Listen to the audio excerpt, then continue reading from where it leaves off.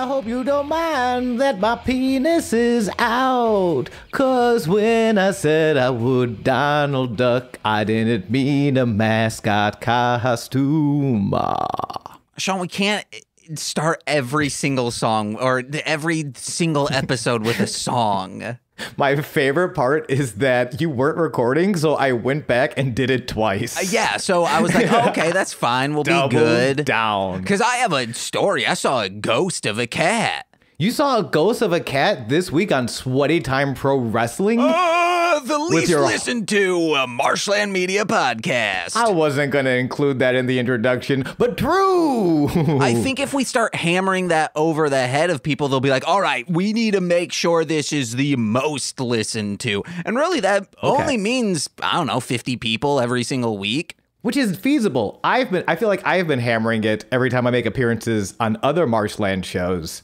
Not to get more people to listen, but just to state my existence. Yeah. Just as a flag in the face of uh nihilistic ennui, you know? On the Wii?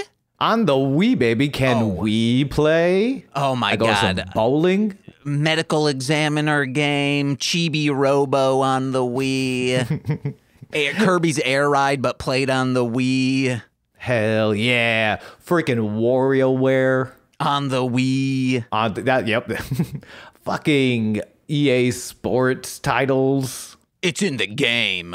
on the Wii. Oh, yeah, it's in the Wii. So you saw a cat that was a ghost? Okay, yeah, so I was on my morning walk, as most of my stories start out as. Oh, also real quick, uh, and this is the podcast where we watch Lucha Underground and we talk about it, and we also talk about ghost cats. You were on your morning walk. Yes, and also, it's not just Lucha Underground. Once we're done with I- that, we'll go to others. I said we were also talking about ghost cats, so they know. Well, Ghost Cats isn't. I mean, there, I think, might be a Santo movie entitled Santo versus the Eyes of the Ghost Cat. Hell yeah, yeah. And I hear, I don't know. I just want to go to, I just want to go to like deep in Philly and go like this, the indiest of indie shows, and there's a death match, and it's like I don't know, Nick fucking Gage versus a ghost cat. Nick fucking Gage, Nick fucking Gage, Nick fucking Gage, MDK.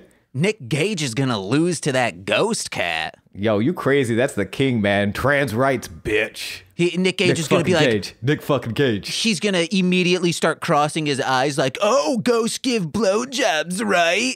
And then he's gonna Wait, like what? Oh, you okay? take out a razor blade and be like, "Hey, anyone want to be cut, even though you're not trained to do it?" He's literally the nicest fucking guy in the world. He's not. Oh man, David Arquette, I'm gonna show you how hardcore we are. I'm an edge lord. Suck my nuts. and Literally they're bloody everyone- too. everyone in the industry who has ever run into him has said he's wonderful, he's kind, he's incredibly progressive. He's not afraid to put trans rights on his back when people ask him to. He's the nicest fucking guy in the world. It doesn't mean he can't be an edge lord. So he. Okay. No one show Nick Gage the Pain Olympics because he will say, "I'll show you." I'll cut off my nuts and my dick and shove them inside of me. All right then. Oh, why why don't you talk about your ghost cat story, you piece Okay. of trash? So I'm walking and I see Will a cat. Will not stand for Nick Gage slander. I'm walking. I see a cat. See how I stopped talking as soon as Sean started talking? Sean needs to start doing that for me.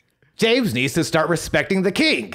You're Nick not the Gage. king. Nick fucking Gage. No, Nick fucking Gage. You, king of what? Nick fucking Gage. Shit. Nick fucking Gage. Nick fucking Gage. Yeah, baby. I'm the I- king of being an asshole. He's like the nicest guy. No, not in the ring and not to David Arquette. Oh, okay. David Arquette. All right, there we go. Give Fuck David. Arquette. Okay, I'm fine with that. All right, cool. See, that's how we do it. We are Bitch. very asshole. We are like very to our at each other's throats today. Yeah. Oh my god. Uh, I Because blame David Arquette. no, I blame you having such a supple neck. so there was a cat you saw on a walk. Yes. And I'm like, okay, I'm walking, I'm walking. I see this cat. It goes a little bit near a bush. You know, like how Michael Myers did it? He's near poking out of a hedge, and then when you walk, oh my God, where'd he go?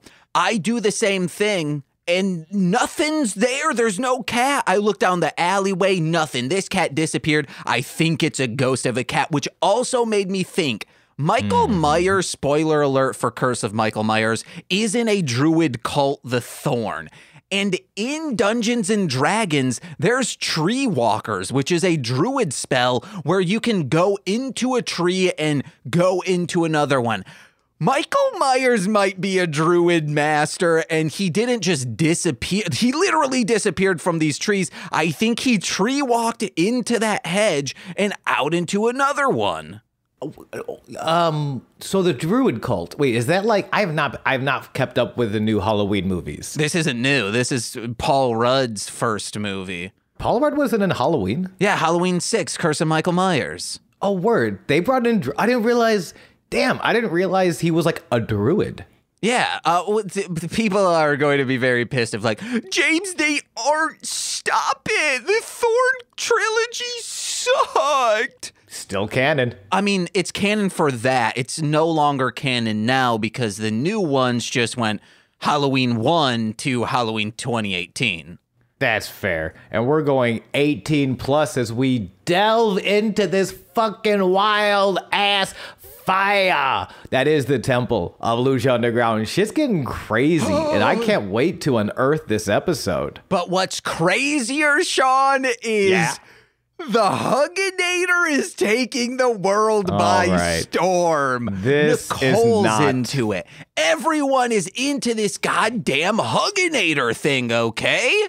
This is not the transition I was setting up for. It's picking up traction. Nicole is so into it. Have you seen? You have notes? Hold on. You have notes on this? Yeah, I saw you Nicole. Look Nicole wanted okay. me to let everyone know you've seen the Dino Cats, and if you've seen them in store uh-huh. or they're shipped to you, they're they look like little dino cats. They're modeled, molded by hand, porn by Nicole's milky whiteness and very, her skin. Very adorable, very good. Shouts out, darling homebody. And the background of these mini boxes are a prehistoric setting, volcano, all of that. Well, Nicole is officially making dino dogs, and they will be shipped in these adorable, super kawaii versions of the Dominator.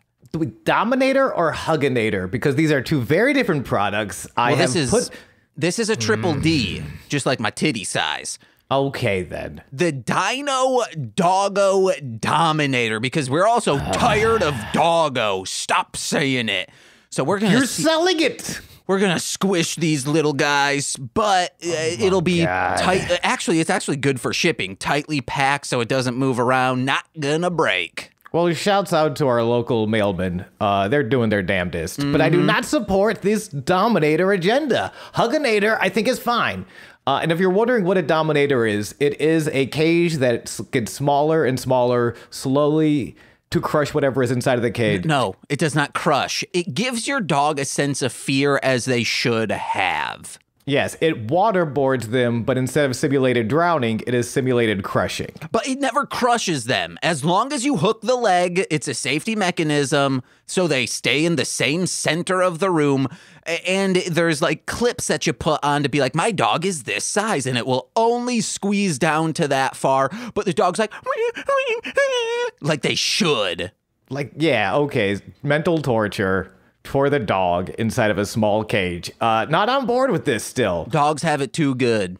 They don't. Oh, okay. Like, oh, my dog's my grandpuppy. Oh, shut up, mom. Yo, oh my gosh. Put your mother in a dominator and get fucked. You okay. ass. Oh, all right then. I- I'm fine with that. But then leave the dogs out. Stop stop mentally torturing dogs. Oh my god. It's a dominator the size of pet and its mm-hmm. owner, specifically a dog, and then it crushes simulation both of them. It is a machine designed to mentally torture dogs. Yeah. Why is why is it so controversial for me to be against the mental torture of dogs? Oh, and you want to know on the other side of the wall, like a dog treat will be there. They'll never be able to get at it. That is this is not okay. This is not a good th- product. We'll put it in like a box that has holes in it so the whiff. Oh, and then a fan on the other side so it whiffs right into them. They smell it, get closer, closer. They try to chomp at it. Uh uh-uh, uh, they are just chomping at bits. Oh my gosh. There were somewhere uh, the ghost of Del Close is like, Goose, why don't you yes and this bit? What's wrong with you? Why are you such a shitty improviser? I don't know why I'm a shitty improviser. No, you've been but yes I'm against this. this bit. No, I am. I, I will not yes and this bit. No, I will not yes and this machine. You're saying yes, this concept is correct, and this is how I feel about it. I guess. I don't know. Del Close can suck a mean one. You love Del Close's truth in comedy. Yo, I'll fucking throw him in the Weapon X Blood Owl. Big cage style. Oh man, in cages, you want to know what? They've been around forever. Archaeologists have unearthed them from the underground. Oh shit. Guys, we are continuing our December celebration of my favorite rap group from Coldwater, Michigan, Syndicate Records, aka Coldwater's finest. Jonathan, did you listen to any of this album before I continue? Jameson, I did. Okay, hell I yes. listened to this album. Yeah, yeah. The album or the year is 2005, Sean. Mm-hmm. I hear word that L.BO and GPG have finished not only their first collabo project, but also their first fully self produced album, and it's called The Art of Fact. Now, I preached of ah. Christmas time merriment last episode when it comes to hearing these albums for the first time. But this is different, even though it went into heavy rotation during the following school time winter breaks throughout the years. I got Art of Fact during this summer of 2005 when my parents bought a boat on the cheap.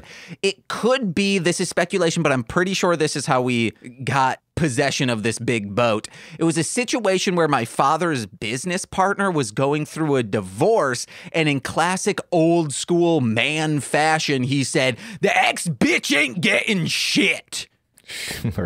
So this boat with a sizable cabin came to us full time and a big ass big screen TV came to us part time. We had the TV on loan for maybe half a year until the divorce was finalized, then it went back to its rightful owner according to the patriarchy.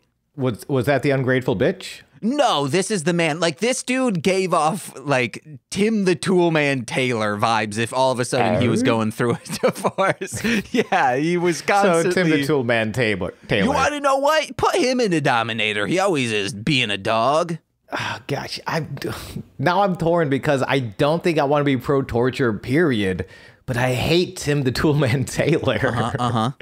uh, wait, no, I meant so. Wait, so who got the t- who got the TV in the end? The man did. Okay, good, good, good, good, good, good, good, good, good, good, good, good. He said, "Oh, I sold it," or "Oh, I gave it to someone to the wife he was going through a divorce with." Yeah. But in reality, he just gave it to us to keep in our living room and consume. This was our first time ever having picture in picture. So what we would do nice. was play Need for Speed Underground while watching Aqua Teen Hunger Force. It was a glorious summer. Nifty. All the while, you were essentially this man's Swiss bank account. Yeah, yeah, yeah, yeah. Yeah, yeah, yeah, yeah. Big untraced build styles. While you speed through those streets, big Aqua Teen style.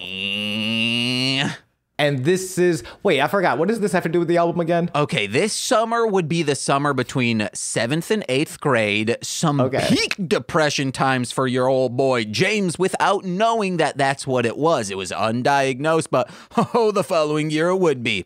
So, yay! When my parents decided to have a weekend trip out on Lake Michigan, this was the summer, just sleeping overnight in this boat. All I did was feel miserable with the only respite being the Art of Fact on repeat. Just constantly. I was uh depressed saying, "Oh, I'm sad," and just repeat this 10 or 11 track album over and over again. Nice. Not talking to my family. Not the depression part, but uh, the respite and the finding a finding a, a positive outlet. Teenage depression's pretty cool, man.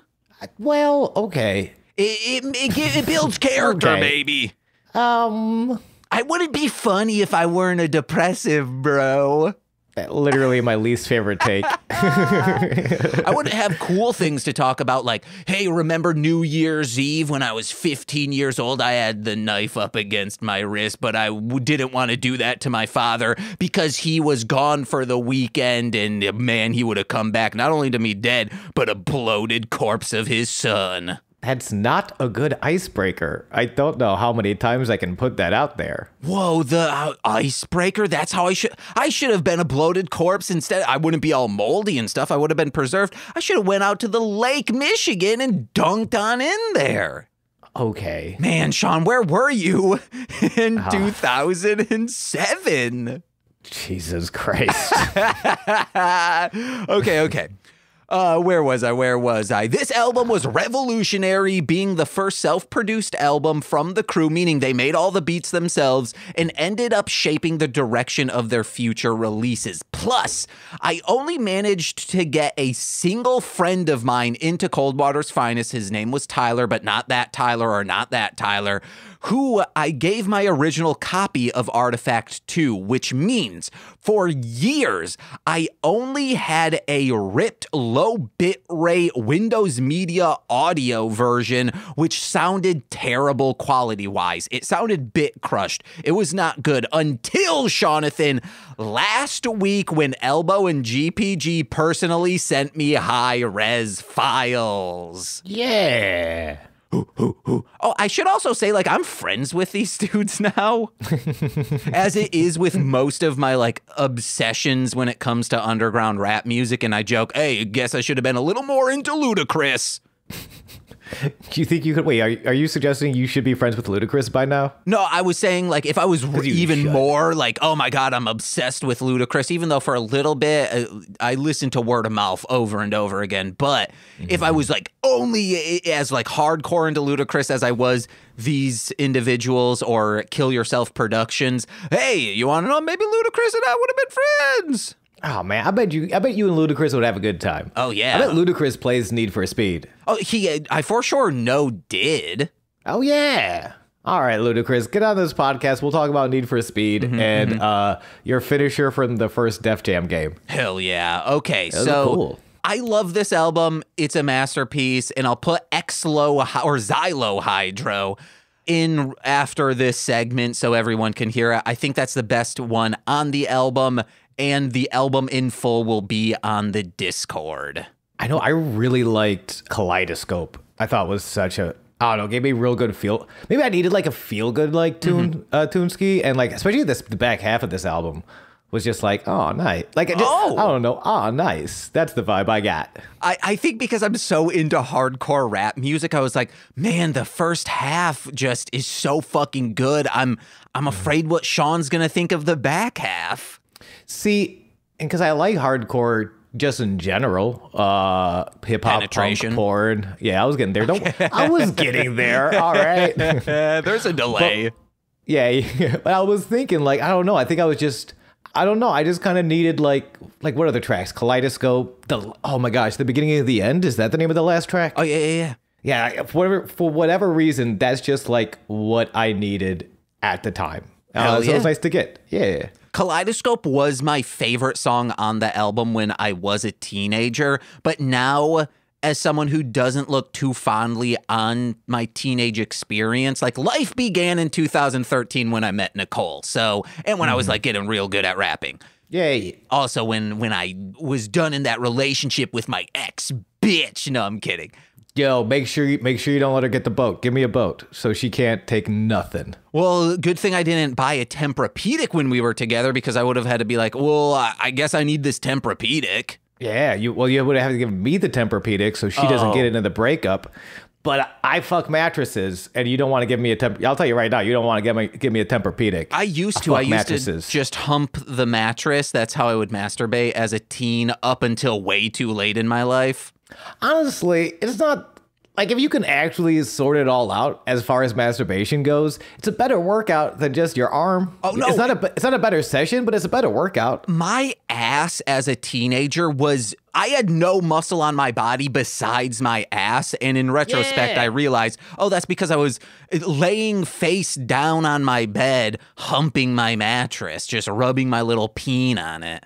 Oh man, I'm not. I don't claim to see the future, but the fact that I can see that in this episode description on Twitter is gonna be James and Sean talk about humping a mattress. Uh-huh. I don't know how I feel about that. Harmony Korine, you can finally make the sequel to Trash Humpers. It's Mattress Humper, starring these two fools. Yeah, James. What else you want? What else you want to like people to really take away from this album? It's hardcore, it's revolutionary, it's de-evolutionary X style.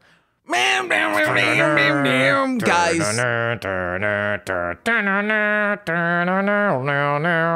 please listen to Pissmas. It's coming out Thursday. It Sean, I was Crash Fire. at 6 a.m. I was just so pissed the following day having to edit the files. Uh, It took me two hours just to treat the files before starting to edit. So then I was like, you want to know what? At least the, like, when people talk, it'll sound fine. But I am going through and just ma- doing the quickest edit ever. So it, it probably took two hours to edit after the two hours, but it, it'll sound fine, people, but it's not the tight edit you're used to. There were five people just screaming in a room. Yeah, you probably don't want to invite me on uh, podcasts anymore if you're listening to this. Invite James; he's a wonderful guest. If I can't see my levels, though, I, I'm gonna I'm gonna scream the DX theme song, Well, No, that's and all- it's gonna be a problem. even if you were the microphone was turned down and you weren't peaking, you were still screaming the DX while other people were talking. That was the Yeah. issue. Because that was more important. No, it wasn't, and you were making us drink. Was, it was, and you should stay hydrated and not pee. How do you think I win Pissmas? Pissmas, by the way, if you're wondering, is a competition as well as a holiday. and that's how I win. I play the offensive, you know? I've never thought of Pissmas as it actually is, which is a competition. As well as a holiday. It's both. But do you want to get into this goddamn episode? I would love to get into episode. Oh my gosh, I didn't write. I didn't write. Oh, I did write that down. The title. Episode 13 of season one of Lucha Underground, Johnny Mundo versus the Machine. Before we started off, uh, James, er- early takeaways uh, from the episode.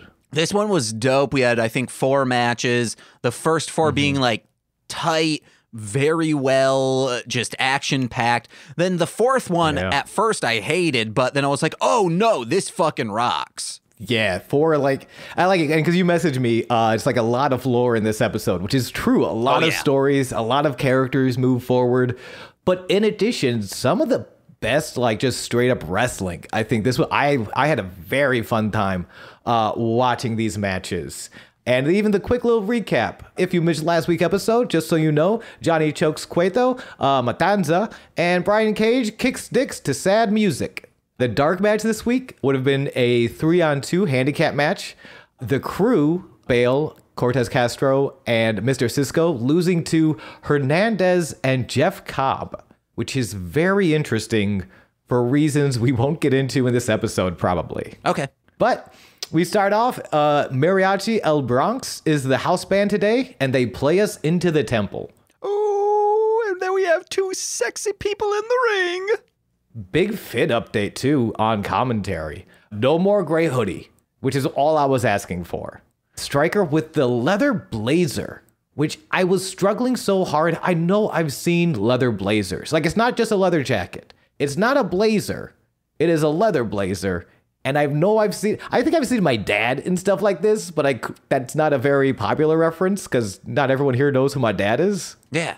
Um, but like I like, but I liked it. I liked it. I liked this look on Striker, as well as Yo Vampiro's jacket. I loved it. I just Yeah. loved Vampiro's jacket. He had a good jacket. Sean, He's got can I can I can I say a slightly fucked up joke? Are you gonna talk about my dad? Maybe. Nope. Then Okay, nope. dang Then it. Nope. It- if you a have good to ask, turn of if you have to ask, all right. If it's a turn of phrase, can is there any way you could turn the phrase about your dad? Your dad. Uh, yeah. Okay. So, guys, my Mm-hmm. dad died last night. Oh no, I'm so sorry. So uh, his uh, like he would always wear a uh, Cub Scout bright orange shirt. It had the Cub Scouts just printed right on it. But like uh, that's not an experience you can experience right now. It's currently out of print experience. It's an out of print look. Okay. I was gonna say Oh, your because- dad's yeah. yeah. All you right. Mm-hmm. can't experience it or you can't see this. It's out of print. I have never been happier to shut something down in my life. well, it would have been easier if I just said like, "Oh yeah, that can't see your dad's Mm-hmm. look because it's out of print." yeah, I know, and I, then I would have cried because I miss him every day. Oh my Vampiro's god! Hold very on. excited. Oh, why are we still doing this? Let's put your dad's look back in print. You do? Do you still own your dad's clothes? Probably not as many as I'd like to. Okay, well, uh, go to your stepmother, find, go rummage through while you're in Buffalo this Christmas time, and just start Instagramming like this was my dad, and do like like the first is you, and then or maybe the first is your dad. Who's more handsome, your dad or you? I don't feel comfortable talking about this anymore. Okay, all right. Well, hey, Thank you. it's what I want to start doing with Karen Foster's outfits from Step by Step. I do want to start once my hair is long enough. Wait, is Karen Foster no longer alive? No, no, I just want to like. Oh, I mean, okay. technically, uh, we don't know. In storyline, she could have died, but Is the actor still alive? yeah, the actress is still alive. Yeah. Okay. So Okay. I, I want to I start got doing so scared.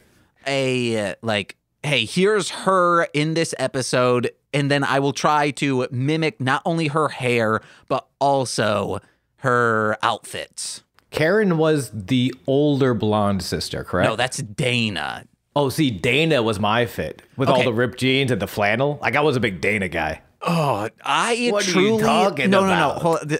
Dana's hair in season two was fucking amazing however because that's 1991 to 92 you uh, while i'm watching this i am seeing 80s hair fashion go out of phase and into 90s and 90s hair fucking sucked it was just flat a little bit of a like bob curve to it and that's it it's disgusting I don't know. I mean, the Aniston comes through, and that becomes a big deal. Ugh. I feel like the Aniston is a good look. I don't. I'm trying to think like real like '90s, '90s, '90s hair. Uh, something like Hackers, Angelina Jolie Hackers, but everything about Angelina Angelina Jolie and Hackers is fucking up phenomenal. Is just a very that entire whoever costume designed Hackers, uh, they need more Oscars because they fucking crushed it. hell yeah give it to him baby ow ow ow, ow. Absolutely. Just like just like uh, Hernandez and Jeff Cobb gave it to the crew, and Vampiro is giving us just a very. Vampiro is so excited in his recap of last week, and I just want something about Vampiro. I know he's pr- he might not be the nicest guy in the world. Uh, I never met him personally. I don't know, but he's just so sweet when he's talking about how much violence happened last week. He's just he's he, he's he's like a child of at Christmas, but the, the the the present is filled with blood.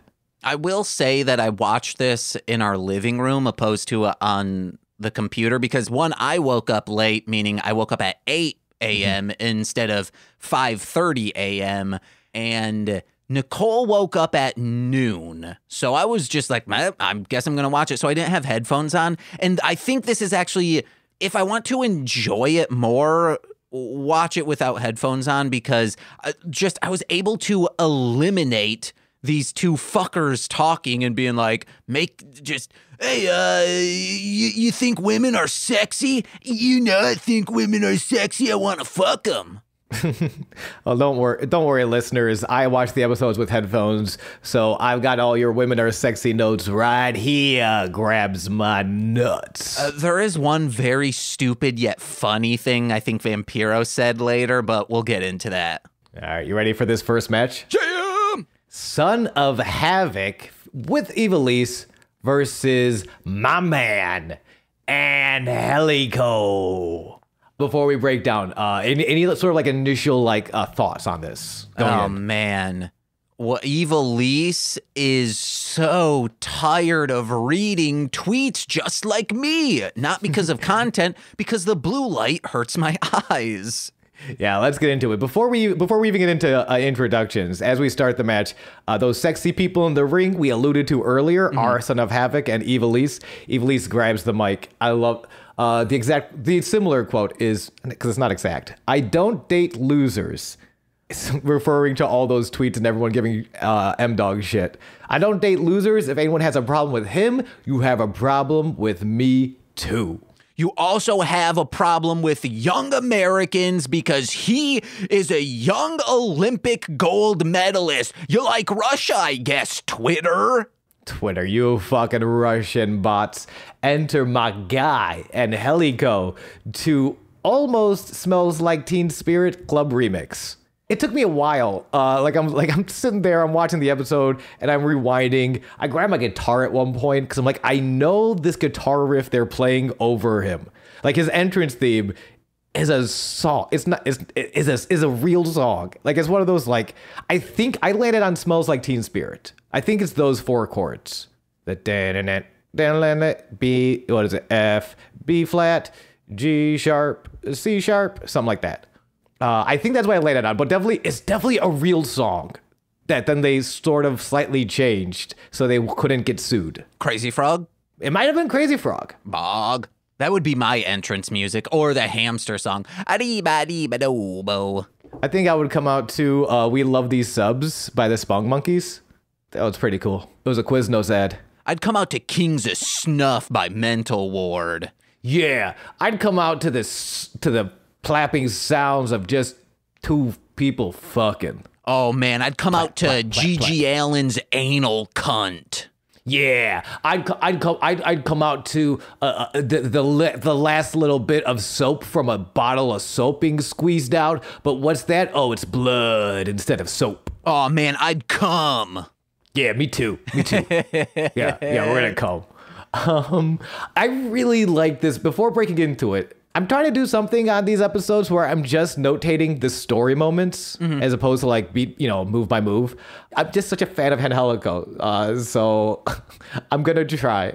He's a company man. Angelico is? Yeah, because he comes out in like a hoodie that has the Lucha Underground logo on it. This is true. He has a T-shirt and the hat, both Lucha Yeah. Underground. This man is selling. This man is selling merchandise on his beautifully mm-hmm. supple, mm-hmm. tall, slender body. But like, it's weird. A lot of Son of Havoc chants in this from this crowd. Son of Havoc Angelico. Yeah, but like Son of Havoc, I think even a little bit louder. Oh. I, I think it might have been a little more Son of Havoc. Hey, you, you had headphones on, so I'll trust your judgment over mine. Yeah, like maybe maybe even 70-30, but definitely 60-40, which makes sense. Son of Havoc has been in he's been on TV. This is their 13th episode, so they would have had what? Like 4 recording sessions up until this point? Maybe. Yeah, but like definitely people are very on board. And it, you know, we've talked about before, Son of Havoc, the man behind the mask, has been a long time independent darling and has like not just paid his dues, like, you know, meeting people and, do, you know, doing the shows, but like physically has learned how to do a lot of really cool shit. He's a mm-hmm. very exciting wrestler to watch. I would also um, like to know when. I, I guess I can research this somehow.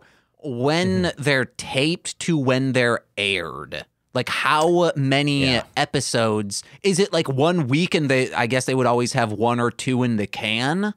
Maybe. Remind me after this, because we'll look it up and let people know next week. Uh, because that's that's a very that's a very good question. Uh, or maybe it's like all one summer. Oh no, because we know it's they're, they're doing it only on the weekends. Yeah. But yeah, this is a uh, I I have a, a very fun, well paced, just like a really interesting matchup between these two guys. Son of Havoc, the high flyer, like a very renowned sort of fast technician, can't really get a lot of high flying offense in on the very lanky Angelico. Yeah. Who's using a lot of limbs, like a lot of kicks. That he's got these legs that can kind of kick you from 20 feet away. So Son of Havoc having to change his game plan up, a lot of his offense coming from these out of nowhere huge grapples, these slams and these bombs. And that's kind of but he he has enough of those that he's keeping Angelico on his toes. I think he Son of Havoc is on top for a lot of this match. It's, it's very back and forth. You want to hmm. hear who wasn't on top during this match and had one hardcore bomb? Oh, I can't wait to hear this. It was Vampiro because he says, Hey guys, I, I just got to give a shout to my boy watching this, Kishi. That's how, like, he had, instead of just Yeah. saying, Hey, I got to give a shout to my boy watching this, Kishi, it's, Hey, I got to give a shout out to my boy watching this, Kishi. It- He was like, reading. He was reading his notes. it was so uh, like dot dot dot parenthetical beat and then start uh, he felt like a robot that was processing. And I couldn't. Is it? Is he referring to Rikishi? I don't know. Uh-huh. Fatu, the master of the stink face. That's the guy he used to. He used to shove your, his butt in your face during the WWF. Hmm. Hell yeah. This is the best reaction to stink face I've ever heard. Hmm. Hell true, yeah. true, absolutely. So in this, I came up with what I would love to see this gimmick because Ivelisse is constantly like grabbing onto Angelico's uh, shins and whatnot to fuck yeah, him she up. grabs his she grabs his feet to trip him up. She at one point grabs the back of his head while Havoc distracts the referee to kind of choke him on that middle rope.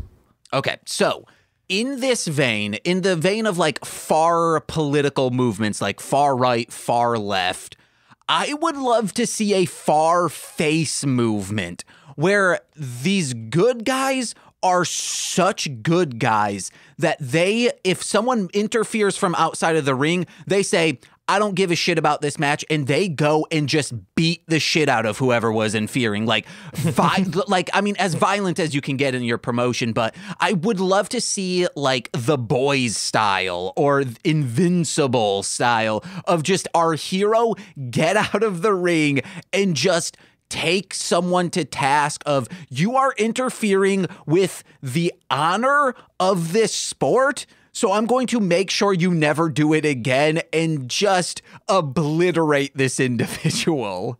The interesting. I'm, try, I'm trying to remember because I can't think of. I've certainly thought of exa- I, I can. There have been times where people do get their comeuppance and they kind of chase them, but I can't think of one off the top of my head where whoever is being interfered on says "fuck this match." I don't care anymore. I don't care anymore. I don't need. I, I I just need to hurt this person real quick. I can't think of something like that. The weird, th- the interesting thing though, also, uh, when you, as far as like you know, heroes and villains and baby faces and bat and heels, I think the it's more of a heel move to be that brutal. Which not not to say you can't get cheered, you can't like you can't be a good guy. Jon Moxley is a very brutal style wrestler who, for the most part, is presented as a babyface. But there is something very evil about that level, that much violence. Yeah, which that's why it's a far movement where it's like, oh, well, you're a good guy, but oh, wow, we don't like how you're handling this. It would be an instance of like, uh, I-, I can think of maybe like The Walking Dead, that dude who's like, I gotta protect my people and just beats the shit out of people as like a more of a fear Negan. tactic. Yeah, that dude. Uh, to uh, to show everyone like, hey, you are all safe until you step out of line. That famous babyface Negan. I I don't know what else he does. I assumed he was he's a he, he's a villain. He's a big he's a big time villain. okay. So he wasn't like protecting his flock. He would tell them that, but that's like kind of you know like a cult leader does. Okay, like yeah. a very manipulative person. I want that. I want a politician who will get the job done. Okay. The big big Law and Order style from James over here. yeah, I just thought that would be cool. Yeah, it would be. I would love to see that. I don't know that, but but I almost want to see that as like the beginning of their heel turn, where they're like, "Fuck, I'm sick of this. I'm sick of playing by the rules. I'm sick of getting fucked on by just being the good guy. No more." Play that, play that track, Mr. Cooper, for I am no more Mr. Nice Guy and I am no more Mr. Clean. Yeah. Like, I, it's a very cool, yeah, I like that. It's a good idea. James, you had a good idea. God, someone put me in a goddamn writer's room. Um, well, uh, back to the match, uh, real quick, because we, uh, oh wait, no, I didn't. Maybe I didn't have anything more to say. I just got one more, which is uh, the end. It's at it's post finish. Yeah. Uh, then I'll, uh, I'll real quick kind of talk through the match, just kind of the story between the two, where Son of Havoc and he's, like he's he's he's getting his high spots in, he's getting his he's getting these big bombs in that can start setting up for his more high flying stuff. Clearly showing off he's a talented guy. Like one of the things we talked about before about Rudos and heels is that they need to cheat to win. Son of Havoc kind of showing off he doesn't necessarily need to. He just can't stop getting in his own way. Yeah. Meanwhile, Angelico, like this is definitely more of the story of Son of Havoc and Ivelisse, but Angelico's, but uh, Angelico right now has this laid back confidence of someone with immense ability. Like he's very laid back, he's very cool. I would compare it to ECW Rob Van Dam, where Rob Van Dam was very like almost people in there's a lot of talk about intensity, uh, which is great, but not every character needs to be intense. Sometimes you just have that one guy who's like, I'm like really good. And I don't know how to really talk about it, so uh, I'll just like that's kind of what Angelico's doing. It's like not to be cocky, but like I am really good. And uh, so this is this is the story. Yes, go ahead. Rob Van Dam's like, not to be cocky, but like, I'm stoned right now. This is true. so this is the story. It's a, very back and forth. We get to the end. Ivelisse is on the apron. Son of Havoc takes a kiss, a cute little peck on the cheek from Ivelisse. Mm. Angelico tries to cut off Son of Havoc, but he ducks, goes behind, Angelico catches himself ah right before he pops Ivelisse. Then Son of Havoc tries to cut him off, kind of same thing, Angelico goes behind. Son of Havoc stops himself from punching Ivelisse. Nobody has punched Ivelisse. Mm-hmm. All these, all these wonderful people. Eventually, Son of Havoc does get to go behind, pushes Angelico into Ivelisse.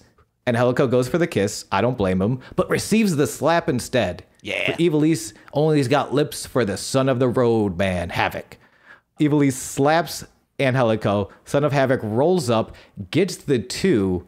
Angelico, as he's kicking out, pushes Son of Havoc into Ivelisse. She's been on the apron the whole time. Some of this is on her. Yeah. in a brutal, like spears her almost off of the apron. Angelico rolls up Son of Havoc for the 1 2 3 victory at 6 minutes and 32 seconds. I also really liked that not only was he like, he wasn't holding the legs, he was holding the shoulders down in the roll up. It was very technically sound. Yeah. Uh, Angelico is arguably one of the, I think, underrated today chain wrestlers and sort of grapples, even when they start the match. My favorite way how they started it was Angelico knowing Son of Havoc is a very fast, a very speedy wrestler, sort of ties him up in knots to frustrate him. Like he's just doing a lot of go behinds and arm traps and like, yeah, a lot of like arm locks, so that when Son of Havoc does decide to build up this momentum, Angelico just drops him with a drop kick.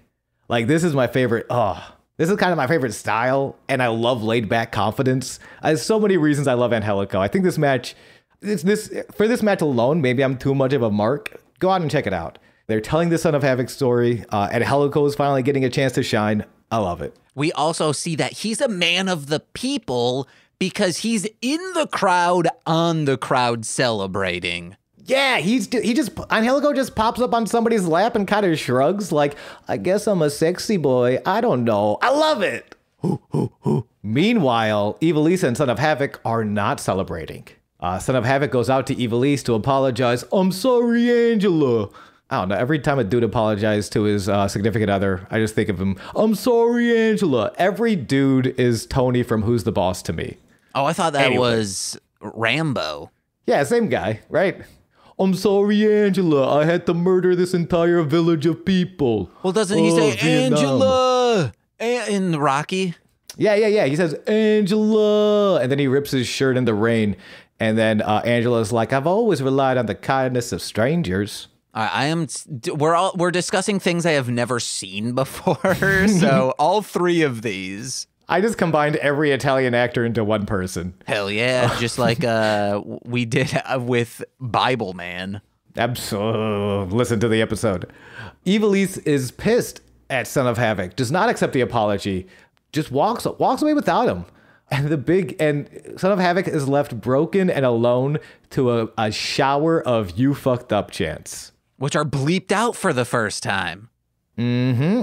And I lo- and, and, and but I'm and I'm so invested where this story is going. Son of they might flip Son of Havoc into a hero. He's really getting over with the audience. Mm-hmm. Grandson of Havoc. Oh, what does that mean? Maybe she's pregnant. Whoa! And that's why that's why he's she's so mad. She speared him in the belly. He Mm-hmm. speared her in the belly. Well, it, it, was more into her clavicle or titty, but she needs those titties to give substance to baby.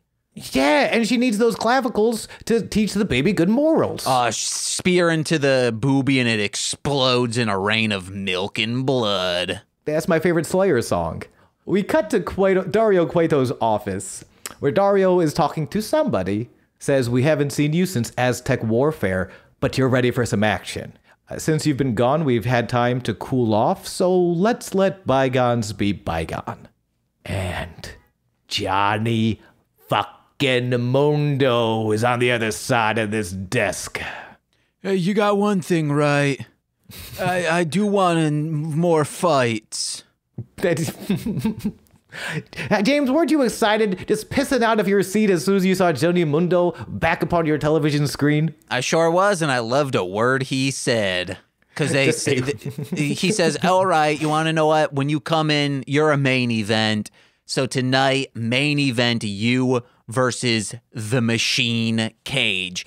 And Johnny Mundo says, "Who that ham bone who tore up the title belt last week?" Ham, bone, ham, bone, ham, bone, ham, bone. it is something that like a nickname that I will call Nicole here and there, but whenever I hear ham bone, I'm guessing you've seen the Dexter's Laboratory episode where they go on a road trip and they go to a diner and they say, "Oh, do you have hamburgers?" and the waitress says, "No, we don't got hamburgers.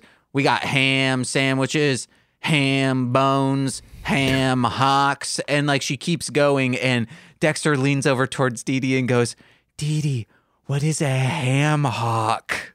it's very funny. Check that episode out. I love that word as well.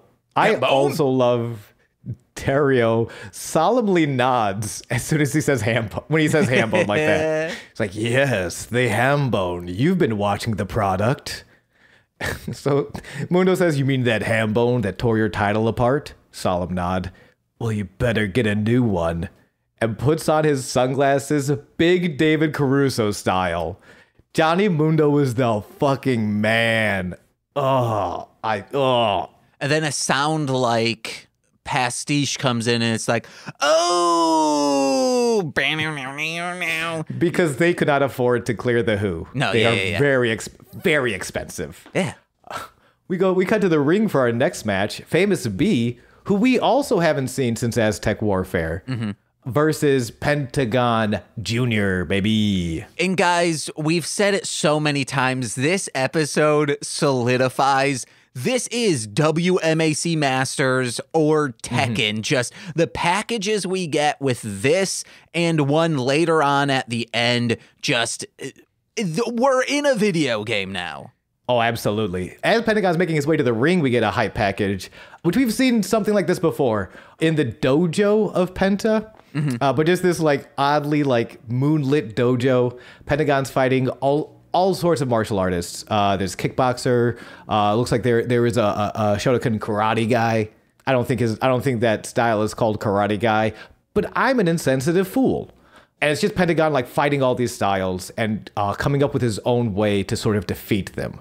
He puts in this voiceover, voiced by Pentagon, uh, he puts over the deadly survival of martial arts. And while he was taught to respect his teachers and those that came before him, was only through the amalgamation of styles and lucha libre that his mission will be complete.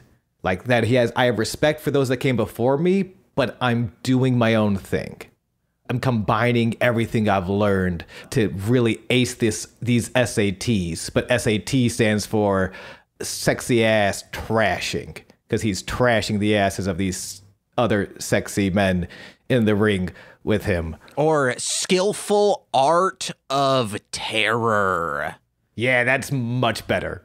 I got did it Or did skillful arts of tactics. Uh, you know, something like that. Yeah, or uh, s- super ass toys. Oh man, a skillful art of terror. Oh my god, what could cages could be in could be art, you know. So the Dominator is an SAT. Yeah, no, no, no, no. Listen, I had nothing going into this. Clearly, I'm still not ready to sign off on on the Dominator. You don't need to sign off. We need opposition. No, why? Did why? Why do you need opposition? If you if you're facing opposition, that might be a sign that this product is a crime against humanity. Oh, okay, all right rap music in general was a lot of people were tr- putting the hands down fists of NWA or Public Enemy. You're calling me Tipper Gore. Yes. Because I don't sign off on torturing puppies. No, I'm just saying you need to be a provocateur. Pentagon Jr. goes on to say, My way of fighting encapsulates the dark parts of the imagination and the human spirit free to fight without limitations. Cero, miedo. Which I guess also means zero respect, is what we're about to find out. Well, we talk about, he, he kind of talks about it where he, it's not that he doesn't have respect, it's just that he's trying to move the art form forward, which is it, is it, it's, inter- it's an interesting story being told in this match versus Famous B, where Famous B, who is a SoCal guy and kind of has this indie wrestling style that became very popular in SoCal, which is a very lucha influenced. PG it's very dub. flashy. PG dub, baby. It's very flashy. It's very fast. It's very high flying. Where Pentagon Jr. is sort of taking this lucha, this lucha style into a very different direction where it's much more direct and it's much more violent if someone was going to say fuck this match, I need to beat the shit out of Bobby the Brain Heenan because he keeps interfering. Like you were saying, like that. Pentagon Jr. might be your guy to do that. Mm-hmm. You know, but he wants Mortal Kombat. He wants Shaolin or Shao Kahn. What's the dude's name? Shao Kahn. Shao You're Kahn close. saying yeah. like, "Hey, your soul is mine and rip off an arm or something. That's what Pentagon Jr. wants. I want an upstanding individual who kind of snaps and is like, no, get out of my ring if you're not on the bill. That's, you know what? That's true. Pentagon is already kind of snapped. That would be like um, if someone's like, oh, you want to know what? In Mortal Kombat, mm-hmm. put put railing on this fucking ring so we're not falling into acid. you just want an OSHA committee in your Mortal Kombat game. Absolutely. Um, well, uh, Penta wants to put an oh shit committee into the face of Famous B. Like I love, like it's he just and kind of like fighting games. I feel like I like that you brought it up too because Pentagon Junior in this match he it feels like like punish like he's he's throwing out punishes. Mm-hmm. Like Famous B is throwing out like his combos his combo opener, but Penta ducks and he's just gonna punish with an uppercut. Like it like that that's the style of fighting. It feels like he's throwing out all these he's not he's he's not the combo starter. He's waiting for his opponent to throw a wild haymaker and then just punish. Uh-huh. It's very exci- uh, exciting but short match. Penta wins via submission at a minute 32. Mm-hmm. And then even after he wins, he's still snapping arms. Yeah, he should have been disqualified. Like the win should have been null and void. That happens. That's up to it's up to referee discretion. Sometimes it does, sometimes it don't. Oh, Not this... in the temple, baby. In the temple, yeah. baby. You want those disqualifications? You want those rules? How about you hit WWE? Why don't you go ask Jeff Jarrett for a whole bunch of gold at TNA? TNA. Down here at the temple? Oh, we snapping limbs and we trim and trim. I, I, I, I'm a pubic hair designer. Cracking limbs and snacking quim. Yeah, baby. I, I, I know if I ever say the worst thing possible, James will still yes and me, and I thank him for that. Well, I was just coming up with a nice rhyme. I liked it. Post match, Penta has a mic in the ring, pledges his loyalty to Master, who we do not know. Splinter, probably. Probably Splinter. Nah, Shredder. You think he's? Oh, he might be a shredder guy. uh, Splinter would smack you with a cane. Yeah, Splinter would not stand up for you breaking someone's arm after the match. Oh my god, Splinter has a cane. Conan mm-hmm. has a cane. Same person. Oh my god, Conan is Splinter, true. And Pentagon is a sad teenager playing an arcade game in his in a sketchy warehouse. Now the now the interesting thing about this match is kind of like Son of Havoc. Crowd's on board with Penta. A lot of Cero Miedo chants. These two like major kind of villains, the crowd's just super behind. It's interesting seeing how they're going to be presented in the future. I've never seen Penta as a villain, just like a tweener. Yes, that's fair. More of a willing to anti-hero, I guess. Kind of a willing to do anything sort of guy. Uh, but people, I mean, it's, it's 2014, 2015. People love anti-heroes. Yeah, yeah. Wolverine's a cool guy. Deadpool's in the mix. Yeah, fucking Kazuya, who is arguably a villain, but is kind of really cool and turns into a devil and chucks his dad off volcanoes. You know, it's complicated. Well, he's just a villain to uh, the Iron Fist. Well, he also did try and take over the world and has started like multiple global conflicts in the name of money. d- yeah, I forgot he took over the the Haya- the Machinima clan and Yeah. then uh, with his power wreaked havoc. Yeah, like he's been a bad. Yeah, Yeah. Kazuya's complicated. He's complicated. You know, we're trying, Kazuya. We. I think Jin, the you want to know what? When you grow up fatherless as a Mishima, uh, you're gonna do okay. If not, you're going to want to uh, kill the planet. Yeah. Or like in Jin's case in Tekken 6, I think it was, you'll try to kill the planet, but it's only so that like a long lost relative doesn't kill the planet even worse. The Mishimas are complicated. Yeah. it's we cut to a creepy cell. Uh, a creepy cell we've seen before uh, with Cueto holding this key. Uh, spoilers, the creepy cell features Dario Cueto sitting on a rickety stool alone, fingering the key around his neck. Sean, you were right. About everything?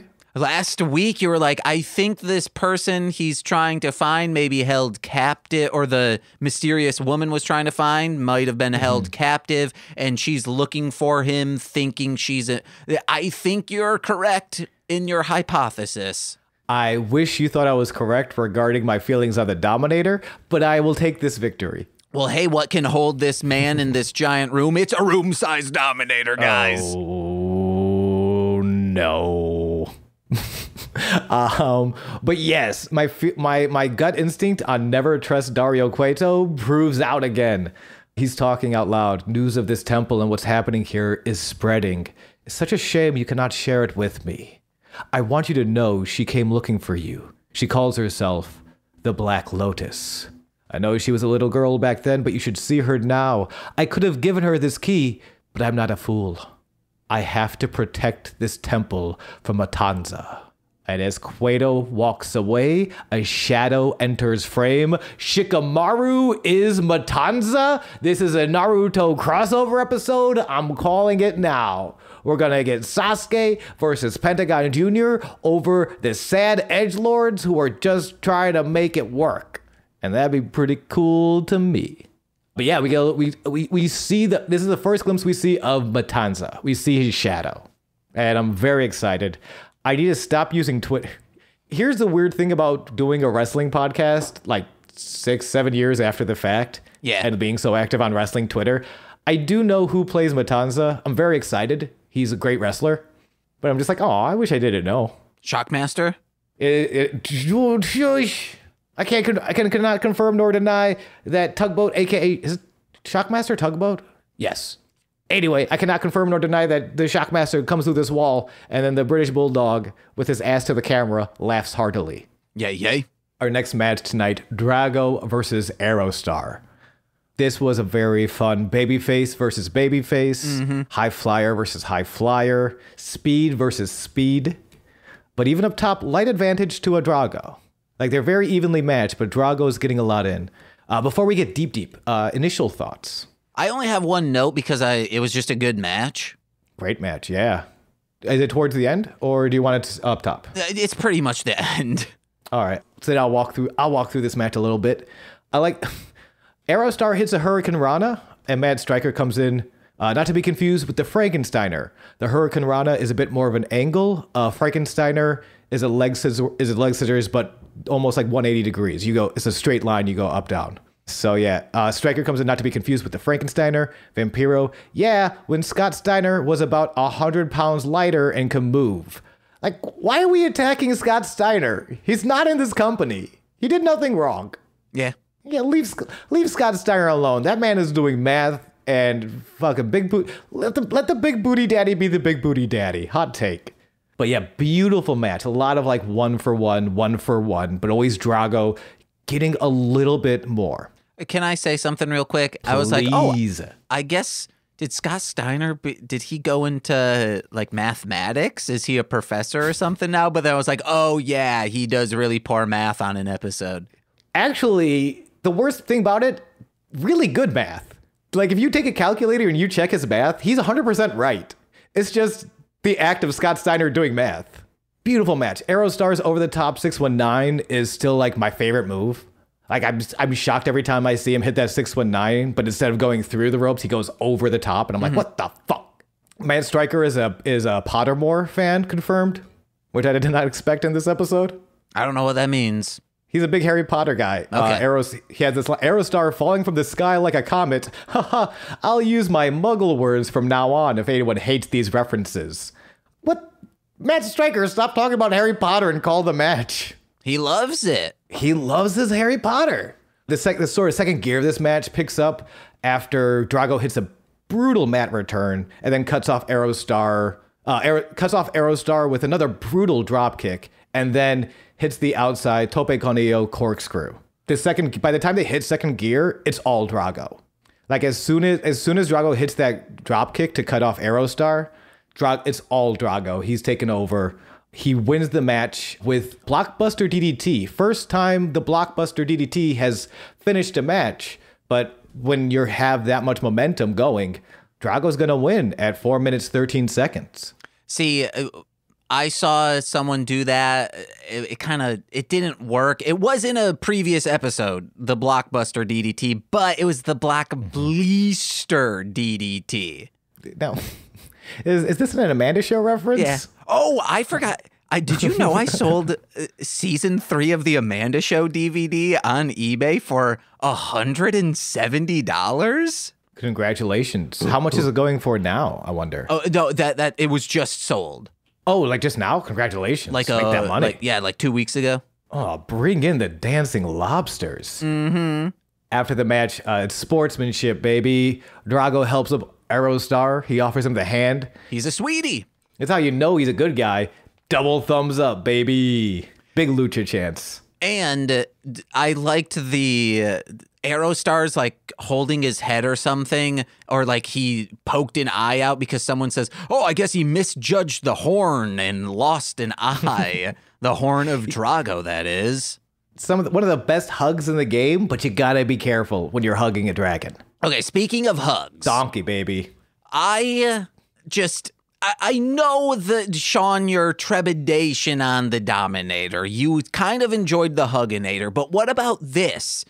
We do kind of elastic mesh netting and it goes in so it looks like a cage but it's it's just going to kind of like I like look like it's netted up and caught a dog and it just does that over and over again. Now you uh, make sure you you hook the leg. It's the safety precaution because if oh my dog's claw got caught in one of the the mesh nettings, that's not on us. That's on you for not like treating your dog with safety in mind. Like if you in the middle of the pitch, if you have to start throwing out safety like covering your bases, it's a bad sign. I'm gonna put that out there. Well, when you uh, have a, a razor blade to shave your face, there's safety instructions on that, isn't there? Yeah, but when they're showing, when they're like, when someone's like, "Hey, you might need to buy a razor blade," they're not like, they're not like, they're not, not just defensive. It's not just like, "Hey, by the way, be careful on this." It's, and if you decide to cut yourself with your own razor blade while you're waiting for your parents to come back from a trip on their boat they inherited from their sketchy Swiss bank friend, don't come crying to me. It was a large knife. I apologize. uh, so my only issue, because my only issue with the Dominator, it's the same question I asked when the Hugginator came up. What is the intended? What is the intended mental state of the dog? Terror. Now I'm not on board. Then I am not on board, and you knew this going into this pitch. I just want an obedient dog who's not like, oh, I love you because you're just there. No, I want them to know I want them to love me because they know I can end them. That is, that's not love. That that's, is manipulation. That's why I love gaslighting. Nicole. because you put Nicole in the Dominator? No, no, I love Nicole because I know she can end me just by one glance. Oh, baby, she's so attractive. As romantic as this is for the terror dog, I am out. Okay we go to the temple gym now where Fénix is working out on the heavy bag, gray gym shorts and mask, which fuck yeah. If, if, if specifically Lucha Underground got the game and this was not an alternate costume for Fénix, I would be livid. Great look. Great look. When Catrina, a mysterious finger plays the nobody behind you game and appears in front of Fénix. I didn't know how else to describe that move. Does that make sense? Yeah. The words I used? Okay. Yep, she appears, traces Fénix's Dreamcatcher chest tattoo, and asks, Does this protect you from the nightmares? No. Dude, Catrina's terrifying. I fucking love her. She asks Fénix, dude, all the lines here are just so like, again, we talk about like, what, what, what did we call this? What did you call this before? This is the, um, instead of like something of wrestling, you said this is like, do, ah, oh, fuck. Uh, you need I to sh- give more details. As opposed to just a wrestling show, this is like the something. You compared this to another another show, I think. WMAC Masters. WMAC Masters, yes. This is it's a very WMAC Masters. A lot of like sort of Riverdale as well in this. Like all the horror in in in the temple is very like Riverdale and sort of not even as much supernatural because it's not about going from town to town. It's all in this central location. Mm-hmm. And the stories, instead of getting a new story, a new monster of the week, it's the same monsters. We're, we're just building on the lore and uncovering layers. And, yo, I, she's so scary. What can scare a man who cannot die? Oh, I know, because he's not a man, he's a bird, a phoenix, a bird cage shaped dominator. And uh, she goes on to say, she goes on to say, I have a message for you, but not from Mil Muertes. It's from me. And she shoves her tongue into Fénix's mouth and they go blah, blah, blah, blah, blah, like adults do when they're feeling randy. And she pulls back and says, Keep this a secret. Because if Mil was to find out, he would bury us both alive. Ooh. But hey, then you just get to. That's that's not a mean thing he's doing. He's just like, hey, I experienced this. I want you to experience as well. Is this when we find out that maybe I was locked in a cage that slowly closed and opened a bunch? Maybe I want to give that experience to the dogs of the world, just like I did, because the individual was saying, come here, you little mutt, and made me bark for them. James, we have to cut all of this out. Why? We can't let people know your villain origin stories. Oh. We can't because if they if they find out that you were locked in a cage that was slowly closing for many years of your life, they'll ask who did that to you, and I can't afford to let that answer out. Uh-huh, so uh-huh. moving on. It also would be bad because they'd be like, "Well, I get the Dominator now. Put me down for three. Who do? You, what would your reaction to be if Kat, if you were working out on your heavy bag, gray shorts, mask on, and Catrina pull, came up to you like this? Basically, kind of like, like cheated on Mil with you and and gave you the hey, this is our secret now, or else Bill will murder you to death. Oh, I would what would say your reaction be? I'd walk up to Mil with Nicole in arm. No, Nicole and HR in arm and say, "Hey, just so you're aware, uh, Catrina's no longer uh, allowed in the temple." That's true. I forget. You having a beautiful, uh, beautiful, loving relationship does add a wrinkle. Meanwhile, my single ass is like, oh, I guess I got to keep a secret now. Okay. I guess I got to go jack off into Chavo's bag. Yeah. true. True. Because Catrina just left a steamy loaf in there, and that's what I'm into. Fénix is kind of the hero you were talking about before. I think where like he's such a baby face that if he just beat the shit out of Ivelisse, everyone would be like, "Whoa!" Because even his reaction to this is like is kind is he's not like turned on. He's not like re- he's selling it, but he's not like, "Oh, sexy Catrina, maybe I am a bad guy." No, he's just kind of like, mm, "You shouldn't have done that." Ah, jeez, I love it. I love. A, I'm a Superman fan. I love Captain America. I love Fénix. I love these hero, these heroiest of heroes, and just being like, uh, this is getting messy, but mm, gotta do the right thing. I love it. I do. We then see a little just like, hey, it's Mundo versus the machine. And in one of the. It, it's Mundo walking down the hallway of the temple, and you see his abs, and I'm like, those are my 2023 goals: is to have abs. So I'm working on my cum gutters; they're coming in nice, but now I have to start working up the upper abs, so those start coming in full. And what I need to do at the end of 2023, I hope I can post a shirtless pic on Instagram and get minimum a hundred likes. Hell yeah. Thirst trap incoming. Y'all got warned. It's not really thirst trap. It's just, um, uh, hey guys, am I pretty? Uh, the, That, that's that's the definition of a thirst trap. but it's sad. I'm not. That's the definition of a thirst trap. Okay. Thirst traps disguise themselves as being horny when they're and they can still be horny, but there's always an element of sadness. I think to a, a real nice thirst trap. send your send your angry emails to James at marshland.org. Um Not at all. I send you an email every week for this podcast, and I could not be bothered to remember. I'm so sorry. Oh yeah. Also, maybe don't set. D- hey guys, at MSS Pod on Twitter or Marshland Monster on Instagram. Don't give out my email address. These perverts over here. Even though I think most of our listeners already have my email address because they're our friends. That's true. Yeah, you perverts. Make sure you save that perv energy until the until the full cum gutter picture is revealed on Instagram from a year's time. We go to our main event. Truly, some of the best abs in the game. Johnny mm-hmm. Mundo versus equally. I mean, he's more mass than definition, but great abs. Not to take away from the abs of the machine, the cage. Great abs, bad facial hair. Get that out of here. whoa, get out of here. I love it.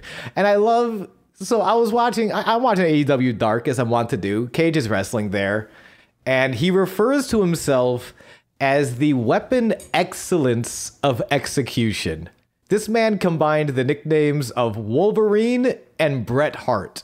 He is secretly such a fucking dork. I don't And think it's love secret. that. It's not. It's actually really not. He's very upfront with how much he loves Wolverine. Like Wolverine's his guy. All of his moves are named after Wolverine, or like Wolverine. Either either Wolverine moves like the ta- tornado claw, or straight up Weapon X is the name of his finisher. I I, I don't know, man. I would love to. I don't know the. We don't know these people. We've never met uh, Brian Cage. He might not be a nice person, but from every everything I've heard, uh, he seems really nice. And there is something so sweet to me about this giant fucking jet, like just this huge dude who's also very athletic and very physical and just mean in the ring. Who is secretly just like, oh no, I kind of want some cocoa, maybe my favorite comic book, a nice night at the fire. To me, that sounds pretty sweet. Like there, I don't know. He's just so he's he's secretly a sweetheart which is like my favorite thing about like usually the most violent wrestlers secretly turn out to be absolute sweeties. He's on Twitter defending Wolverine origins. Well, I don't think anyone was defending Wolverine Origins, but I just I don't know. Yeah, that but that that that's Brian Cage the man. We must discuss Brian Cage the machine. who did not rip the gold in half. Just the belt, just the leather part. It, the actual centerpiece was not torn in half, Sean. Yeah, way to way to bring that back and throw it in my face. I want to, ah, and I shouldn't have checked, so I, I actually can't say anything. I want to say that was retconned, but I did not go back to look. So, James, you were right about everything, like you always are. Great cum gutters, bud. You want to know what? Keep talking. I'll. I'm pulling up last week's episode. Sure? So yeah, we talked about Mundo comes out first, uh, Cage comes out second with the ripped belt, uh, like a fucking Chad. Like very, it was a very cool visual to see the ripped belt around his neck, just like a fucking Chad. And uh, the match starts. It's an interesting match. Obviously, like everything, Cage has the power. And that's going to be what this match is. Uh, very similar to the Puma one, where Mundo's, Mundo's technique and speed and athleticism and ring awareness, uh, ring intelligence, because um, uh, Mundo has just been wrestling for a lot longer than a lot of these people on the roster. Not everyone, uh, but a lot of them. So you see how Mundo puts a match together. It's, it's so scientific. Like it's very it's very exciting to me to watch Mundo put a match together uh, because again it is so logical, especially in this match with Cage. Like you're he's so much bigger than me. He's so much stronger than me. I need to find inter- I need to find these ways to take him down. Uh, and he does, and, and, and he never he never does it in a way that makes Cage feel dumb or less strong than he is. It's just that Mundo is that good. I'm just at the part where like Konnan, bloody face, just like crying up to the sky. Uh, no, the the gold does not get ripped in half, just the belt. Okay. Then yes, you are you you were correct last week. He would be way too powerful, or the gold is very thin in order to be able to do that. He might be way too powerful. This Johnny Mundo struggles to put him to put him off his feet. One of the big stories in this match is that Johnny Mundo is gets a lot more moves in comparatively in the first like in the first two acts or so. Mm-hmm. It's a lot more Johnny Mundo. It's a lot more of Johnny's moves than it is Cage's moves, but that's because Cage usually he has so much more knockout power in a single move that it's it's one of those like if Johnny ever stops moving, if if he lets himself get hit by one, this match might be over. Like Johnny has to do like three moves to every one of Cage's because of how powerful he is. Mm-hmm. I did bring up how Konnan's was bloody. They bring up how oh Konnan's blood is on Cage's hand because he's a machine and he doesn't mm-hmm. wash himself. However, the Dominator, please wash. Do not let Chavo win. People will oh start shitting God. in there, and people oh, don't want to clean that. It gunks it up. Anyway, talking about this match, James uh, King Cuerno at some point. I have no great transition to bring up King Cuerno, this little perv watching from the rafters. Mm-hmm. Out of nowhere disappears and just start and it's just staring intently. Uh, we have no real idea. As far as we know, these two have never these three men have never interacted. Yeah. Right? C- Cage never interacted with Cuerno. I feel like no, I don't think I don't think Johnny and Cuerno have had too much interaction either. Maybe in Aztec. Maybe. Maybe probably they could have been there at the same time, or the lead up yeah. to Aztec when it was like the ten versus ten. Sure, the qualifiers mm-hmm. uh, up to Aztec Warfare, probably. Yeah, but very interesting to see Cuerno just absolutely creeping up on the top. Vampiro says like, "Oh man, I don't like this Johnny Mundo. He he may look fly and flashy, but he's got an agenda. He'll do anything to win." And it's like, "That is competition, man. It's not an agenda. That is the goal. That is the purpose of this is to get the title."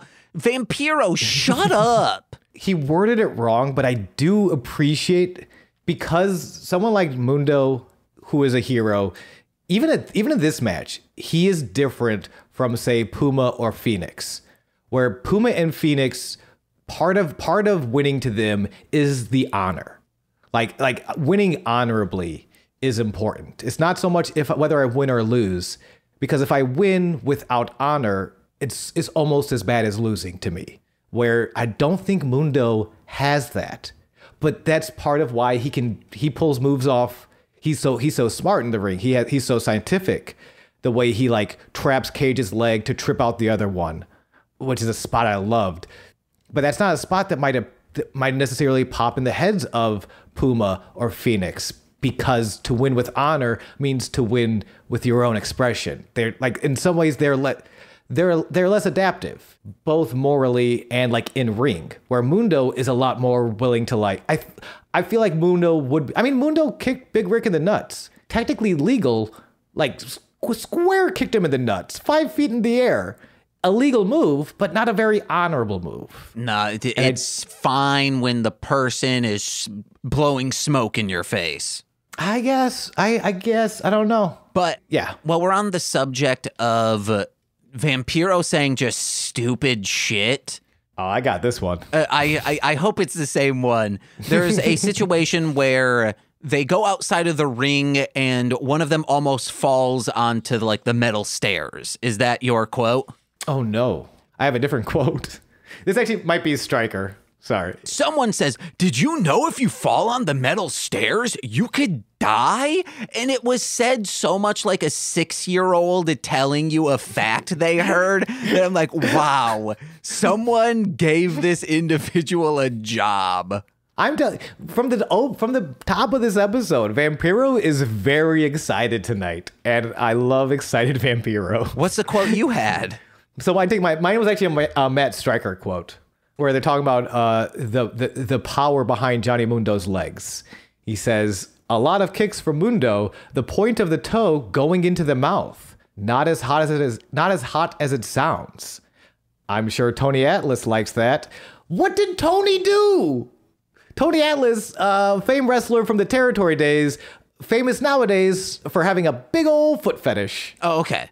That like, but in Well, that's what he did. He had a foot fetish. But in 2014, 2015, A, for the foot fetish was not part of the gimmick. That's just something he does now. And B, who the fuck knows who Tony Atlas is? You do, you fucking nerd. Yeah, but I'm a fucking nerd, and you should not market towards me. I will let you down. This is also something that I don't like in underground anything where uh, when you have such an emphasis on hey, we are doing the good shit. Oh, everyone else has such low uh, attention spans and they're not really putting forth towards the art. We're the artists here and everyone else is just t- the watered down or the commercial they they emphasize that so much rap music will do it as well and just Yeah. if you have to make that known that is now your gimmick you are now a gimmicky individual just let the art stand on its own and you're good the wrestlers are doing that the commentators are not I, I do want to put an asterisk on it just because of how much of a monopoly is happening in wrestling, wrestling at the time. Because there was such a monopoly from the WWE, and you see it today where kind of like a lot of American fans only can only uh, understand wrestling under the WWE style because they do have a very distinct style. Uh, because they are marketing a lot more towards families and children. So, like the in ring work sometimes, especially under Vince, is not as important as the character work, as the promos and stuff. And if you like characters and promos, that's totally a valid way to like watch wrestling and to enjoy wrestling. But it's not the only way. So, like, you almost do have to make a statement that, hey, we are doing a different style. Our style is more akin to the AAA Lucha Libre style. And for American audiences, this might be a little different, but give us a chance. Oh, no, that's that's totally fine. But when you're saying like we're the real shit, watch us, the others fuck off. That's that baby baby. That I agree with that. yes, that's what I am implying. But to say like, hey guys, uh, your taste might not be to this, but here let us explain what it is. And mm-hmm. hey, give us a shot. You might like us. That's fine. That's being very humble about yourself. But when you're just like, we're the greatest, we'll make your attention is on us because it's not them. Yeah, there's a sort of a wrestling promo unwritten rule of like when you're going two wrestlers were going into these promo against each other, and the I think it was the babyface says this guy's a fucking idiot. Uh, he's a bad wrestler, and I'm gonna beat him, and I'm the best. And the other guy who uh, he was cutting the promo against, the veteran in the situation, comes up to this this new guy and says, "What what the fuck are you doing? You you kind of just screwed yourself." Because now, if you beat me, you beat someone, uh, and this was like for a pay per view. There's no fight. Like you beat me, and everyone knew you were gonna beat me. Mm-hmm. Like you you didn't challenge yourself. Why would people pay money to see you beat someone you were already gonna beat? Or I I beat you, and now you just lost to someone who was so much worse than you. Like Yeah. either way, you're bringing us both down. And I feel the same way about the yeah about competition in your field. Unless someone like unless someone has done something really personal to you, there's no reason for you to like if you have to hit other people to make yourself look better, you don't look that much better. Mm-hmm, mm-hmm. You just don't. And uh, was- usually it's the opposite. Like when you punch down like that, now everyone kind of hates this scene more. Like because you spend all this time making the other person look bad instead of making yourself look good. Yeah. Now every like if if a rising tide raises all boats, a lowering tide kind of does the same thing. Yeah, yeah. But this match is crazy. Yeah. I have no transition other than this match was great. Uh, Yeah, It's- we we yeah. get like a high flying spot where I think Cage is outside of the ring, and then Mundo's about to like jump towards him, and Yo. you uh, it's going towards the commentator desk, and you see Vampiro get up, and he's like, "Oh no, oh no!" Vampiro's scared of this, of like, "Oh, if I don't get up, there's a chance that I will be hit." and I very much enjoyed that. But in the same instance, you get Vampiro scared, and then when Mundo goes, lands the attack, they're all in a daze. Cuerno starts moving down and just looks menacing. They get Yeah. back into the ring, but Cuerno, it, as this is happening, as he's on the prowl, there is a woman in the crowd just screaming like she is about to witness a murder of like Mundo you need to look. I it added so much genuine panic to what is going on. Whoever that woman is deserves a carp launch to any wrestling match she wants to go to. Just give give her front row whatever row she wants for free. This woman is comped. Yes. And also, like, put more on everyone who's ever covered John Morrison or Lucha Underground or any of his appearances outside of WWE has said this, but we're, I'll say it again and again. This guy is such a star. Like, mm-hmm. for him to pull that reaction out of someone, and he is, he's, do, he's doing it so well. In this match against a huge and athletic, we didn't even talk about Cage's moonsault. Cage, Cage goes for a moon, a springboard moonsault. He's not like he slowly climbs to the top and then he posi- No, he jumps from the second rope to the top rope seamlessly, turns around, moonsaults all in the matter of like half a 2nd mm-hmm. and it's a great looking moonsault. Oh, yeah. like, and for Mundo to have such a like competitive match where it's clear that Cage is stronger. It's clear that this is not easy, but Mundo is doing everything to make it work and keep people on their feet on his side. It's I don't blame that woman. I am if I am that woman. Yeah. James, I am that woman, as are all of us. Mundo, please avoid King Cuerno. He's going to sweep your leg and cause a disqualification at 6 minutes and 35 seconds. I was like, this gets the DQ. What fucking Ivelisse does, anyone else, this gets the DQ. Shout out to Havoc to jump back on that. One of my favorite re- ways to distract a referee, which is how Ivelisse gets away with her shit, is Son of Havoc throwing his arm around the shoulder of the ref and just having a real like, "Hey man, I don't know, am I okay? Just like as a person, am I all right?" Ref's like, "Yeah, you're fine. I need to go look at this." Like, okay. No, but unfortunately, there is there is no distraction. The ref sees all of it, disqualifies. And this is where we need the far face movement. Of Johnny Mundo just losing his shit. Yeah, and just beating the crap out of Cuerno. yeah, well, It's Dario. Cueto comes out of his office. Yeah, because real quick, uh, Cage sees this and just does like a nah and starts walking up the stairs as Cuerno takes out a chair, puts it on the the ring post, and smashes Johnny's leg. And then Cuerno runs away. Then Cueto comes out.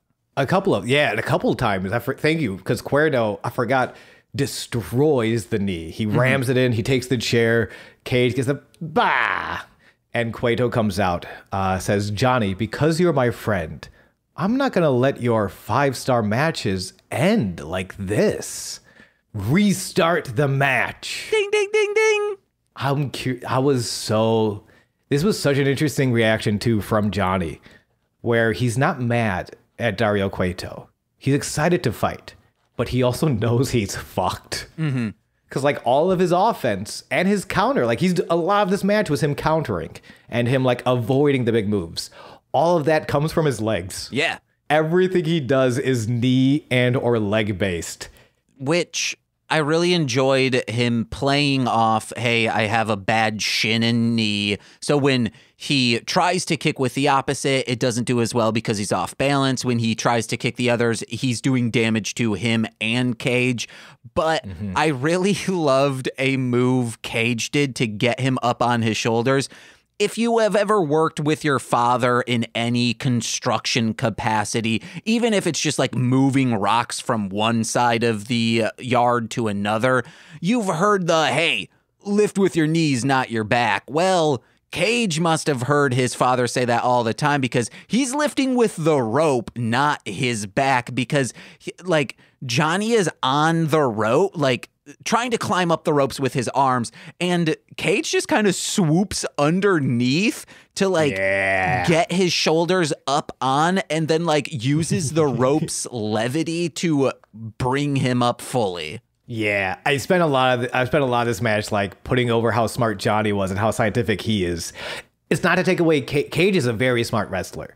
Cage both like storytelling wise and the character both like understand what it takes and how to go from move to move. Mm-hmm. Both are it's just the experience of Mundo, I think, more than anything else. Yeah. But like Cage is very smart this entire time. Uh, I think commentary kind of puts the second half of this match best. Uh, Striker says Johnny has heart, he has fight, and Vampiro cuts him off, but he has no brains, kicking someone with a busted knee. And just that, like, that's like everything you just said, though. That's like, that's this like really tragedy because we all also know it's like going in to watch Romeo and Juliet. You know it's going to be a whole bunch of dead teenagers at the end. Yeah, yeah.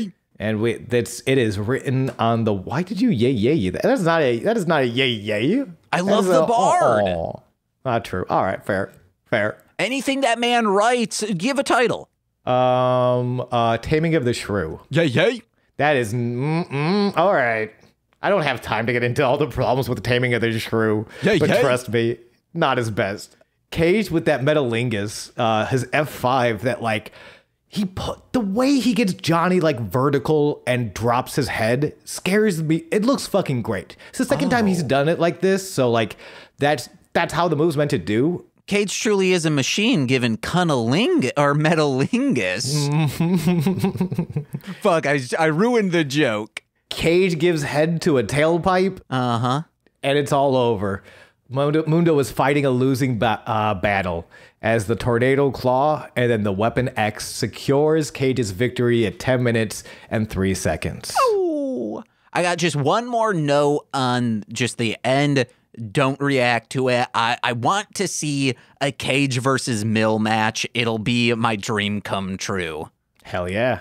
Credits roll, but we're in Cueto's office. Hold on. Why is why are we seeing something during the credits? Well, Dario Cueto on the phone. She's found the place. She's really pissed off. We got to do something. I don't think that picked up the microphone. I made knocking sounds. No, it, it some of it did. Yeah, in your right. in your file, it will pick up. Yes. Dario shouts out, "Go home. Show's over." And we hear a voice. James, I'm sorry. I didn't know he was going to be in this season. Oh no, we're just getting started. Enter, and I literally said, "Oh no." When I saw the face of Alberto El Patron, formerly known as Alberto Del Rio, also known as one of the more problematic wrestlers of the 2010s. He, uh, he, he's he's at the temple. Alberto is at the temple. It's this is weird because I know who he is, but you don't know who he is. I sure don't. I assumed he was not a wrestler because I'm like, well, if this is following Tekken Mortal Kombat stuff, this mm-hmm. man is a federal agent investigating the temple. That would be awesome. That I, you know what? I hope that is his character because that would actually be very cool if it's a sort of Lei Wulong type. Fingers crossed. Yeah, and there, so hopefully we get that and we get a little bit more of Matanza And yeah, Google Alberto El Patron if you really want to know. Not a great guy, but he's not here very long, thankfully. What what was he doing? Putting cats in dominators? Fucking pig. truly, yeah, pretty pretty much. A uh, lot of lot, yeah, lot of bad things. No, no. no, no. Yeah, perfect. And on and on the emergence of this fucking douchebag, no, no. And James, let's uh, let's break it down for these beautiful people. What do you have to plug? You know me, I'm the Goose VK. You can come over on twitch.tv slash Goose VK, uh, hang out, share a laugh, uh, I, uh, and uh, don't poop your drawers unless you want to. Hey guys, listen to my music under Marsh, Land, Monster, wherever music is found. Head over to MLMpod.com to find out information about all the other podcasts that I do, like Formulaic, The Height of Horror, Hit It and Crit It, and mostly Speaking Sentai. Wherever you're listening to this, you can also listen to those. And oh my God, head over to patreon.com forward slash MLMpod, where for $5 a month you get exclusive podcast every single Friday. And if you're a $10 pod, if you're a $10 patron, you get exclusive monthly content as well as shout outs on every single free feed podcast. So let's begin with those, starting with Steve F. I'm knocking, but you can't hear it. Oh, Eric Berry of Ranger Command Power Hour. Alex Z, the Waz. Orion, he's a rapper. D hyphen F O Defo. Kayla, aka Two Grapes. Jordan B, the Chaos Witch. My Bickle, my brother in common law, Joshua Jakis. Steve Barnes at Intro Void. He's a musician, but also of Sweet Child of Time and Sweet Child of 1899. Those are podcasts. The womb in which I emerged, my mother. Oh my God, my mother's womb was like a dominator for me because my umbilical cord was wrapped around my neck. She was supposed to hook the leg, not my throat. And finally, Lil Corey's BFF and roommate, Shane. I've been James. I've been Sean. And this has been Sweaty, Sweaty Time, Time Pro Wrestling. bye bye. Bye bye.